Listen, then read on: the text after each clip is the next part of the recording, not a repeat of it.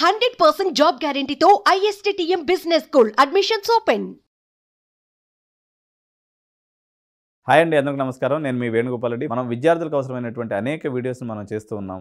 ఇందులో భాగంగా ఈరోజు AS engineering college campus tour చేయడంతో పాటు దీనికి సంబంధించినటువంటి ఈ ప్రత్యేకమైన వీడియో విద్యార్థులకి పేరెంట్స్ కోసం. హైదరాబాద్లో చాలా కాలేజెస్లో కొన్ని కాలేజీల్లో టాప్ టెన్ కాలేజెస్లో మెజారిటీ ఆఫ్ ది కాలేజెస్లో సీట్స్ అన్నీ కూడా ఆల్మోస్ట్ కంప్లీట్ అయిపోయినాయి. సో ఇది ten to fifteen bandwidth అంటే టాప్ ఫిఫ్టీన్ ఇంజనీరింగ్ కాలేజెస్లో ఒకటనగా మనం ఏసీ ఇంజనీరింగ్ కాలేజ్ చెప్పొచ్చు. ఇది రెండు వేల ఏడో సంవత్సరంలో గట్కేసర్ నుంచి మనకి ఓఆర్ఆర్ దగ్గర నుంచి ఏదైతే రింగ్ రోడ్ ఉందో అక్కడ నుంచి ఒక ఆరు కిలోమీటర్ల దూరంలో ఇది లోపలికి అనేది ఉంటుంది గట్కేసర్ ప్రాంతంలో ఉంటుంది. ఇది టూ థౌజండ్ సెవెన్లో ఎస్టాబ్లిష్ చేయబడి బ్యూటిఫుల్ ఆర్కిటెక్చర్ అదేవిధంగా గార్డెనింగు అదేవిధంగా అకాడమిక్స్ పరంగా తీసుకున్న ప్లేస్మెంట్స్ పరంగా తీసుకున్న ఫ్యాకల్టీ పరంగా తీసుకున్న చాలా ఉన్నత ప్రమాణాలు కలిగినటువంటి విద్యా సంస్థ ఇది. సో ఈ విద్యా సంస్థలో ఎటువంటి ప్రత్యేకతలు ఉన్నాయనేది మనం డిపార్ట్మెంట్ల వారీగా మనం చూసినప్పుడు ఫస్ట్ ఆఫ్ ఆల్ ఇన్ఫ్రాస్ట్రక్చర్ అండి. ఇన్ఫ్రాస్ట్రక్చర్ గోపాలకృష్ణ సార్ ఎవరైతే ఈ చైర్మన్ సార్ ఉన్నారో he himself is a civil engineer అయినందువల్ల ఇది బ్యూటిఫుల్ కన్స్ట్రక్షన్ తోటే బ్యూటిఫుల్ గ్రీనరీ తోటే బ్యూటిఫుల్ ఆడిటోరియం తోటే బ్యూటిఫుల్ సెమినార్ హాల్గా అదొకటే కాదు. అడ్మినిస్ట్రేటివ్ బ్లాక్లో కూడా చాలా ల్యాబ్స్ ఏదైతే ఉన్నాయో మనకి ప్లేస్మెంట్కి అవసరమైనటువంటి బ్లాక్స్ ఇన్ఫ్రాస్ట్రక్చర్ వైజ్గా చాలా నీట్గా ఒక పొందిగ్గా అమర్చడం అనేది జరిగింది. ఇకపోతే ట్రైనింగ్ ఎలా నడుస్తుంది అన్నట్లయితే వీళ్ళకి ఫస్ట్ ఇయర్లోనే ప్లేస్మెంట్ యొక్క ట్రైనింగ్ స్టార్ట్ చేసి పైథాన్ సి ప్లస్ ప్లస్ లాంటి లాంగ్వేజెస్ నేర్పిస్తూ ఉన్నారు. సెకండ్ ఇయర్ నుంచి వీళ్ళకి కంప్లీట్గా ఫుల్ స్టాక్ ట్రైనింగ్ అనేది అంటే HTML CSS JavaScript boost travel and languages అన్నీ కూడా వీళ్ళకి నేర్పించి వాళ్ళ చేత ప్రాజెక్ట్స్ చేపిస్తూ ఉన్నారు అనమాట అంటే ఏస్ ఇంజనీరింగ్ కాలేజ్లో మీరు బీటెక్ కంప్లీట్ అయ్యే లోపల ఒక పది నుంచి ఒక పదిహేను ఇండివిజువల్ ప్రాజెక్ట్స్ మీరు కంప్లీట్ చేయగలిగేటువంటి పరిస్థితి ఉంటుంది. పెగా సిస్టమ్స్ ద్వారా వీళ్ళు టైప్ పెట్టుకునేసి వీళ్ళు పెగాకు కూడా కొంతమంది ఇంజనీర్స్ని తయారు చేసి పంపిస్తూ ఉన్నారు. అదేవిధంగా వీళ్ళు టాస్క్తో కూడా టైప్ పెట్టుకునేసి టాస్క్ ద్వారా కొన్ని ప్రోగ్రామ్స్ చేస్తూ ఉన్నారు. ఇక ఫ్యాకల్టీ తీసుకున్నట్లయితే seventy percent of the faculty అందరూ కూడా పిహెచ్డీ చేసినటువంటి ఫ్యాకల్టీ ఏస్ ఇంజనీరింగ్ కాలేజీలో ఉన్నారు. ఇంతేకాకుండా ఇక్కడ attrition rate of the faculty చాలా తక్కువ ఉందండి. సో ఇది చాలా ఇంపార్టెంట్ ఫ్యాక్టర్ సో కొన్ని ఇప్పుడు మనకి సిటీ కాలేజెస్లో మనకి చాలా కాలేజెస్లో ఈ సెమిస్టర్కి ఫ్యాకల్టీ ఉన్నారంటే రెండో సెమిస్టర్కి ఆ ఫ్యాకల్టీ ఇంకొక ఊరికి పోయి ఉంటాడు అన్నట్టు ఇక్కడ అలాంటి పరిస్థితి లేదు. ఒక ఫ్యాకల్టీ యావరేజ్ మీద సిక్స్ టు సెవెన్ ఇయర్స్ స్టేబుల్గా ఒక కాలేజీలో ఉంటున్నారు అంటే యాజమాన్యం వాళ్ళ పట్ల ఉన్నటువంటి నిబద్ధత అనుకోండి వాళ్ళకి ఇచ్చేటువంటి శాలరీస్ అనుకోండి చాలా ఎక్కువగా ఉంటే మాత్రం ఇది సాధ్యమవుతుంది. ఆ రకంగా ఫ్యాకల్టీ అట్రిషన్ రేట్ కూడా ఈ కాలేజీలో చాలా తక్కువ ఉంది. ఫీజు కాలేజ్ ఫీజు ఎంత ఉందనుకున్నప్పుడు ఒక లక్ష పదివేల రూపాయలు ఉందండి. కాలేజీ యొక్క గవర్నమెంట్ డిసైడ్ డెసిషన్ అయినటువంటి ఫీజు వచ్చేసి ఒక లక్ష పదివేల రూపాయలు ఉంది. సో ఈ ఫెసిలిటీతో పాటు ఇక్కడ ఏంటంటే బాయ్స్ అండ్ గర్ల్స్ హాస్టల్స్ సపరేట్గా ఉన్నాయి. సపరేట్గా ఉండటంతో పాటు వాటి యొక్క ఫీజు వచ్చేసి తొంభై ఆరు వేల రూపాయలుగా నిర్దేశించబడిందండి.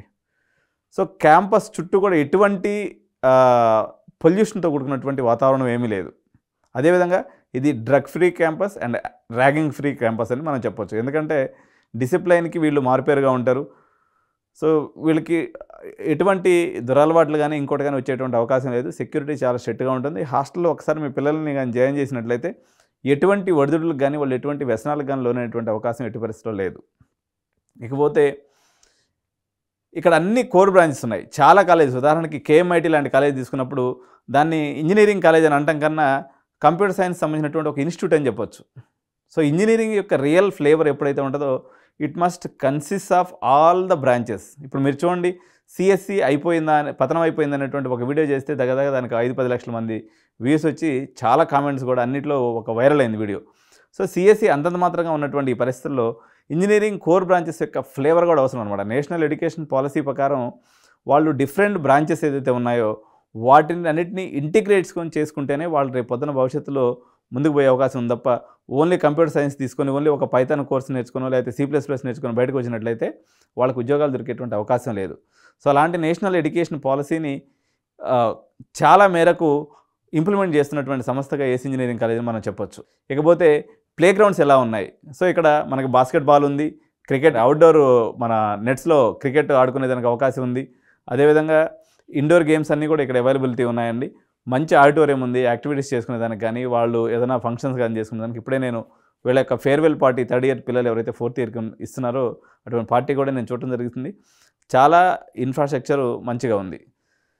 అదేవిధంగా వీళ్ళ యొక్క క్లాస్ రూమ్ ట్రైనింగ్ కూడా ప్రాక్టికల్ ఓరియంటేషన్కి ఎక్కువ ప్రాధాన్యత ఇస్తుందండి ఏసీ ఇంజనీరింగ్ కాలేజ్ దాంతోపాటు సీనియర్ ప్రొఫెసర్సు అదేవిధంగా అసిస్టెంట్ ప్రొఫెసర్స్ అదేవిధంగా మెంటర్స్ అదేవిధంగా ల్యాబ్ అసిస్టెంట్స్ వీటితో ఒక సరైనటువంటి ఒక ఒక క్రమ పద్ధతిలో కూడుకున్నటువంటి ఒక సిస్టమేటిక్ ట్రైనింగ్ అనేది వీళ్ళకి స్టూడెంట్స్కి ఇంపార్ట్ చేయడం అనేది జరుగుతుంది. నేను ఇందాక ఫైనల్ ఇయర్ పిల్లలతో కూడా మాట్లాడినప్పుడు సార్ మేము ఈ యొక్క ఏస్ ఇంజనీరింగ్ కాలేజ్ యొక్క మెమరీస్ని మా జీవితంలో తీసేయలేము. We just enjoyed any like anything and we got placed in different companies అని చెప్పేసి వాళ్ళు ఎంతో ఆనందంగా చెప్పినప్పుడు చాలా గొప్పగా అనిపించింది.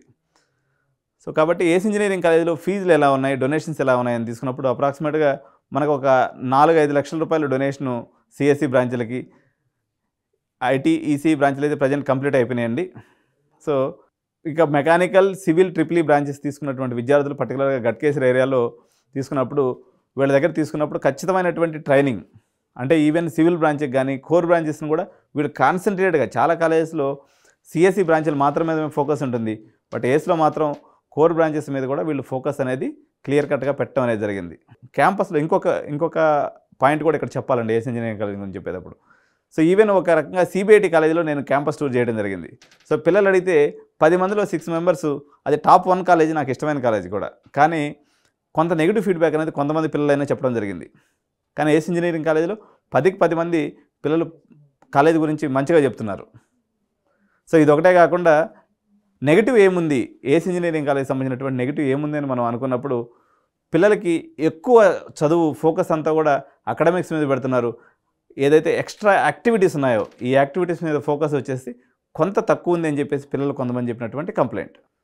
సో ఇంత తక్కువ బడ్జెట్లో మంచి ఇంజనీరింగ్ కాలేజెస్లో మీరు చదవాలి అనుకున్నట్లయితే మీరు మల్లారెడ్డి లేకపోతే అట్లాంటి రద్దీ వాతావరణంలో నుంచి తప్పించుకొని ప్రశాంతంగా మీరు చదువుకోవాలనుకున్నట్లయితే ఏస్ ఇంజనీరింగ్ కాలేజీని తప్పనిసరిగా మీరు కన్సిడర్ చేయండి మీరు క్యాంపస్ విజిట్ చేయండి పిల్లలతో మాట్లాడండి ఇన్ఫ్రాస్ట్రక్చర్ చూడండి అడ్మిషన్ తీసుకోండి. Thank you so much bye bye Suman టీవీలో మీ పర్సనల్ అండ్ బిజినెస్ ప్రమోషన్స్ కోసం కింది నెంబర్కి కాంటాక్ట్ చేయండి.